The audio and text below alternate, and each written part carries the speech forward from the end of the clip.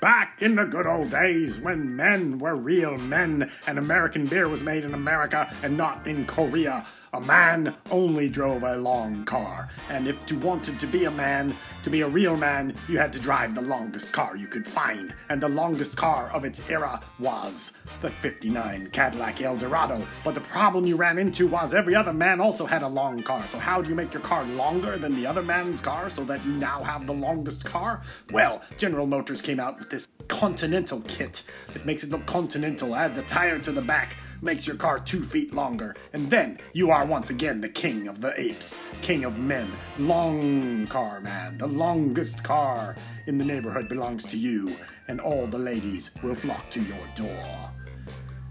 And if you drive a short car and you can't appreciate this, then damn you! Damn you all to hell! You don't understand what it is to be a real man in the world of the man with the long car.